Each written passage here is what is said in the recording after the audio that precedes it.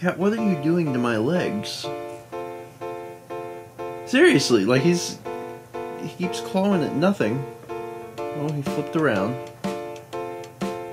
Are you are you comfy? There's nothing down there. Well, at least nothing for you. Gracious sakes. Hello everyone and welcome to Monday. More importantly, welcome to the new year. It is 2018. What are you doing? There's nothing there. My god. God, he's getting dangerously close to things he should not be scratching. It is 2018 and um, we decided to bring in the new year. Uh, well, technically last night by watching the ball drop, but uh, today uh, my mom wanted to do something special. She wanted us all to go out and eat um, and, and, get something nice, and, and things do close a little bit earlier um, on New Year's Day. So uh, we had to go a little bit early for dinner, but we went to Paula Deen's restaurant because Paula Deen opened a restaurant in Myrtle Beach. She had uh, there's a well-known one in Savannah that we've been to before on the vlog. Actually, I forget what it's called. Do you remember, Mal? It's like something in Sons. Mm, I haven't been. Oh, it's like M- Mother and Sons. I don't know. I don't know. It's a buffet though. This one was different. Uh, this one was. Uh, it's it's called family style dining, and the idea is that you go with a group of people. You order. You pay per person, and you order as a table three meats, really, they're meats, and then Main four, courses. yeah, three main courses, and then four side dishes, and then everyone gets their own dessert of their choosing, and then it's unlimited refills. They they don't want to call it all you can eat, so it's just unlimited refills of anything, and uh, everyone shares. Everyone at the table shares those uh, dishes. It's a pretty neat idea. Uh, the four of us went, and Lindsey, and uh, we ordered. God, what did we order? We had salad. We had mashed potatoes. Sweet We had sweet potatoes. We had Mac um, and cheese. mac and cheese. We had spare ribs, fried chicken, catfish, and I'm. I gotta be honest. Um, it was it was actually really good. Uh, the food was really good quality. Um, it was it was it was delicious, and there was plenty of food. And the lady, the server, kept coming back and asking if we wanted, you know, a refill. You know, you guys want more ribs? You want more fried chicken? And we couldn't eat it all. Like that one serving that came, we ate that, and we were like, "Oh my god, I'm so stuffed." We still had a little bit of food left over, but it was delicious. It was really good. And uh, for dessert, we actually all got this same thing. They had a chocolate cake, although let's be honest, that thing looks and was a brownie. Uh, it was a delicious brownie. It was a little, a little too sweet, but um, I mean, it, it was that, that's a brownie. That's what I would call a brownie. But uh, yeah, it was good.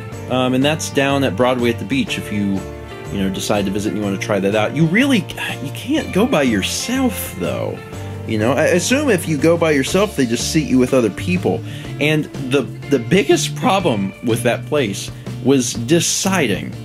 It was so hard for the five of us to decide between what like what three things we were going to get because we're like, well, do we want catfish or do we not want catfish? Do we want beef roast? Do we want ribs or do we want chicken pot pie? Do we want fried chicken? And if we get fried chicken, do we also want chicken pot pie? Because if we do that, that's two chicken dishes. Is that too much chicken? So there's a lot of discussion um, at the table. But once we got past it all, the food was actually very good, and uh, I would say highly recommended. The only thing that was so weird about the restaurant, um, and I really don't get the strange strange fascination um, that Southern people have with Paula Deen. And I say that as a Southern person. Like, I do not understand. But that store, um, it's a store because the, the top floor is the restaurant. And when you're done, you go down the escalator and you're in a store, kind of like a Cracker Barrel, but imagine it's Cracker Barrel, but Paula Deen's face is plastered on everything Everything. Every- slogans. Oh my gosh. and and the word y'all is put on everything. There's also a creepy amount of standees of Paula Deen. They're everywhere. It's like a strange old school security system where instead of putting up actual cameras, they just have Paula Deen grinning at you. So no matter where you turn, you feel like you're being watched by her presence. It was creepy. no lie. There was a soap dispenser that said soap y'all. soap, y'all, cookies, y'all, butter, y'all. Everything was y'all, y'all. So that was uh, that was a bit much, um, but it was it, it was comical. Like it was comical, and I, I'm sure that there are people in there that are like super. Oh, is that a picture of the thing? Woof, y'all. Yes, they had picture frames. Um, part of me wonders if there's people that buy those and, and leave the uh, the original image of Paula Deen and dogs in there, and it's just like I really like Paula Deen. Yeah, I don't get it. I, I'm not like I don't hate Paula Deen, but I don't understand the ex- extreme, um, you know, worship that she she gets. Um, but if you like Paula Deen, holy crap, that store would be for you. But the food is legitimately good. Just if you're going to go, take a group of people. And my advice would be to look online at the menu beforehand so you don't have a fight in the restaurant about what on earth you should be eating. Because it was difficult. It was really hard to choose. So, yeah, that is how we started out 2018. And uh, I think it was a pretty fun way to start it. I really do. It was uh, it was also really cool to um, to have everyone together, to have Lindsey there. Would have loved to have uh, Dan there, but uh, Dan has actually been gone for quite a while because he spent the holidays with uh, his family in Florida, and then they flew from Florida up to Maryland, where their extended family is, and he's actually still there. Um, he may be coming home. I, th- I think he flies back to Florida tomorrow, and he may actually be driving up tomorrow night. So we might see him tomorrow. I'm not entirely sure, but he'll be home soon. So yeah, 2018 has gotten started, and um, it got started with butter, y'all. Anyway, Too um, much butter. it was Too much. it was just a surprising amount of butter related products. Not products that featured butter, but products that had nothing to do with butter that just talked about butter. I'm not even making that up. They sold keychains that had little like blocks of butter on them and it said butter y'all on the side. They sold t-shirts that said butter y'all. They sold every kitchen utensil that you could think of. Said butter y'all across it butter, y'all. Anyway, because it is the first of the month, the first of the year, uh, we're going to say a quick shout out and special thank you to our patrons, uh, all of the Patreon producers that we have over at patreon.com. Thank you so much.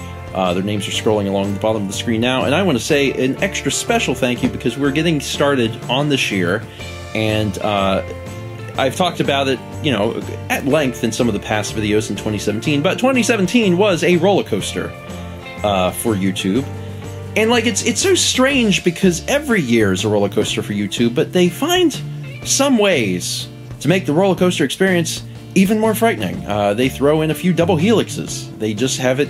There's a section where it goes upside down for like 46 minutes, and you're like, "How is the roller coaster this long?" Also, I think the blood is running to my head and it's going to kill me. And YouTube's like, "Don't worry, I'll be fine." Um, so, in light of all of that, uh, thank you so much for for choosing to support us because uh, having having things that we feel that we can rely on uh, at a time when YouTube is so crazy uh, is very helpful, and we appreciate it. And uh, fortunately, the limited or no ad situation has improved. I know I made a video about that not too long ago, um, but you know it is still still YouTube. Give them a few weeks; they'll find a way to screw something up. Um, but now that 2018 is here, uh, it is time to start thinking about uh, how the year is going to go. And Mal and I have been actually talking about that, and you may see that behind me. In fact, if I, if I do some crazy voodoo magic and touch this, may actually come into focus. And then if you're on a, like a 4K TV, you might be able to read it. If not, I'll zoom in so you can actually read that. Now that is the um, that is the schedule that we normally keep, or at least attempt to keep. And next to it is actually some uh, some goals for the year, and I can't actually read them because they're too far away. But they basically say, uh, what is it? Take time off. I don't actually know the goals. Take Uh, time off. Take time off, which is something that we don't do. Anyone who watches may be familiar with the concept of work, work, work, work, work, work, work, Nickelodeon, but we don't. We don't have a dedicated day off, and that's what that's about. My my one of my biggest goals in 2018, one of my very personal goals, is to be able to have a day off, and it might take a little time to get to that point. Um, and certainly, we're we're always in a position where if we need to drop everything and take time off, we can. But we don't and have never, in the years that we've been doing this, have had a dedicated day off. And how cool would it be if, like, Saturdays you just had off? And some of you are saying, well, you know, I have a normal job and that's the way it is. Yeah, that sounds cool. That sounds really neat. So that's something I'd like to work towards. Mal, what's the next thing? Um, keep things cleaner. Keep things cleaner around the house. Because there are times where, I mean, I feel like we actually do a fairly good job of keeping things clean, but um, a lot of times it's not a regular cleaning. It's that, oh man, I can't see the kitchen counters, we should fix this, and then we fix it. And I really, I don't like that, especially because up until the point you do it, there's this subconscious feeling that is growing inside of you that creates anxiety and levels of depression and sadness. And if we would just regularly clean the house, it would probably help keep those to a minimum. Now, once you clean the house, you feel better. You really do. Um, having a, cl- I mean, it doesn't work that way for everyone, but for me personally, having a, a cleaner work environment, having things put away and organized, um, it, I think it makes me more productive. So that's something I want to work on for, for 2018. Mal, next. Ketchup on blocks. Oh, ket. I heard the first thing as ketchup. Yes, pour ketchup on the vlog. Pour ketchup on the vlogs. Um, yeah, uh, my single biggest goal for 2018 is to catch up on the vlogs, and I know, I totally understand that that is a joke and a punchline at this point because vlogs have been behind for quite some time. Um, but it does truly affect me, and it's something I think about all the time, even if I don't talk about it. And 2018, for me personally, is a do or die sort of situation. And uh, the the biggest problem is when you're behind this far, uh, people don't actually realize the progress you make because we were, um, you know, multiple months behind, and in in the span of like a week or so, I did an entire month's worth of vlogs. And after I had caught up, there were comments that were like, "Wow, he's really far behind," and I'm like, "You don't realize how far I came in like a week." So going to keep chipping away at that and doing my best, but that's it has affected me in, in hugely negative ways um, to be this far behind for this long. There's an element of I don't care, I'm just going to continue to produce the best stuff I can, but the other side of that is I desperately need to to get it caught up. There's a million factors that go into it. When we're all caught up, I might talk a little bit more about it, but just know that it is on my mind and it never ever leaves. Mal, what's the next thing? Um, stream. Stream. Uh, that's been something we've been trying to do. We've been trying to like, we, and we have seriously looked into doing Twitch streaming since uh, like August 2016. It's been in the planning uh, for a long time, and it's something we've really wanted to do. And uh, this is the year that we really want to make it happen. That is a goal, and I'm putting it out there publicly, uh, and hopefully it doesn't blow up in my face when on January 1st, 2019, we're like, ah, we didn't really do that. Um, but that is a goal. That is something we're trying to do. We would like to do, uh, at least starting out, just one day a week where people knew that they could catch us live. If it was Friday night for a few hours or something where people could come hang out and know that that's happening, um, I would really like for that to happen. So that is the big thing. And what's the last thing? It says keeping awesome, but I think Dan wrote that. Dan wrote that. Um, and uh, even though he wrote that, I'm, I'm gonna I'm gonna live by that as well. Uh, what we're doing has fulfilled us. The things that we are creating make us happy, and it's clear that they make you happy as well. But we're going to continue to do awesome things and create awesome content and really pour our hearts and souls into everything we do, with the caveat of trying to take a day off. But we're going to continue to try and make that happen all throughout 2018 just like we did last year. So yeah, that is uh, that's our 2018 goals, and uh, I don't like to call them resolutions. I really don't even like to call them goals. Um, it's not something like you know we're gonna do this, we're gonna. It's just things that we've talked about, things that we've considered, uh, things that we want to make happen. And there's a bunch of other things that we want to try and do. We want to make sure that we um, you know try to eat right this year and things like that but it's i'm not going to put it down on the list i'm not going to do this or the other the only things i'm really concerned with this year are continuing to create awesome stuff and um, try to get vlogs cut up and then also slow it down just a little bit you know um, we worked extremely hard last year and uh, we did a lot of awesome stuff and i'm very proud of us for everything that we accomplished but you know, having having moments to, to step back and um, relax, like having a day off. Like, holy crap, that'd be great. And uh, and then of course streaming. I like I like how I'm like we really want to scale it back and take a day off, and then immediately I'm like, and we want to add this new thing. Um, we'll we'll balance it all out. We will. Uh, the biggest thing that we did in 2017 to help ourselves was that schedule, and uh, I'm very happy to report that for the most part we have stuck to that ever since we um, started doing it in September of last year. So for the last few months, we've done a really good job of going to bed early, waking up uh, early, uh, sticking to a, a pretty good schedule about what what to do and when.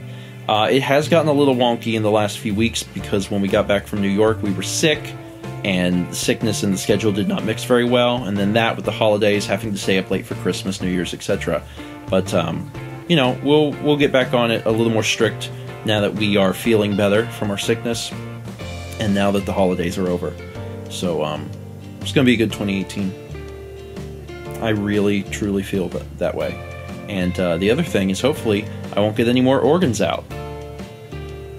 I mean, at the very least, I can't take any more appendixes, because I only had one to get rid of.